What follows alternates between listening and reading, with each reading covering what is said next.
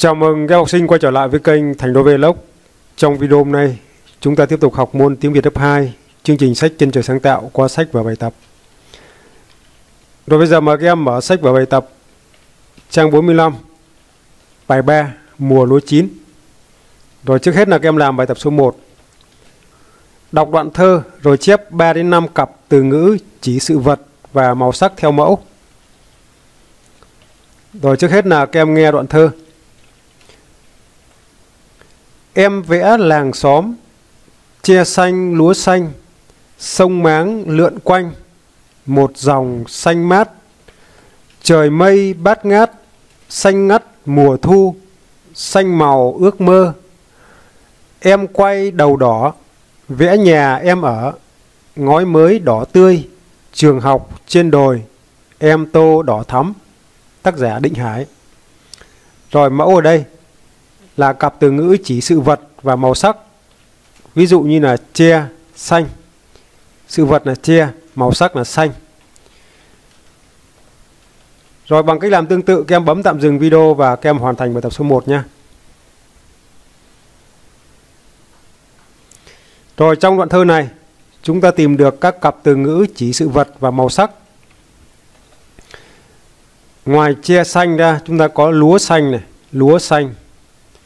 Sông máng lượn quanh, một dòng xanh mát. Rồi sông thì là xanh mát. Trời mây bát ngát, xanh ngắt mùa thu. À trời mây thì xanh ngắt.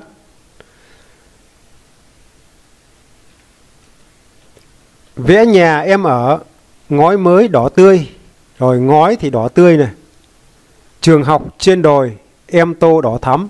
Rồi trường học thì là đỏ thắm. Như vậy, chúng ta tìm được các cặp từ ngữ chỉ sự vật và màu sắc có trong đoạn thơ trên.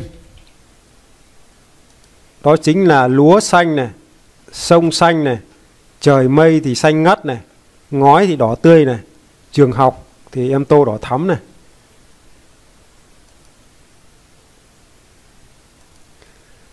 Tiếp theo em sang bài tập số 2, các em viết 2 đến 3 câu tả cảnh đẹp em thích.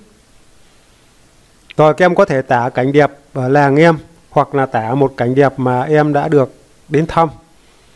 Thầy giáo ví dụ một bạn viết 2 đến 3 câu tả cảnh đẹp của làng mình như sau. Làng em có mái đình cong cong cổ kính, có bờ tre xanh mát những trưa hè. Đường vào làng có cổng chào mang tên làng để nhắc ai đi xa cũng phải nhớ.